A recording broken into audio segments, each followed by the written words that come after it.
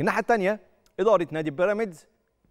وعدت لاعبي الفريق إنهم يدوهم مكافآت خاصة وضخمة في حالة تحقيق الفوز على الزمالك والفوز بالثلاث نقاط اللي هتساهم ربما في تتويج الفريق بالدوري في النهاية. هنا مكافآت كبيرة وضخمة وهنا تحفيز معنوي مهم من مدرب خبير محترم كبير هو جوزفالدو فيريرا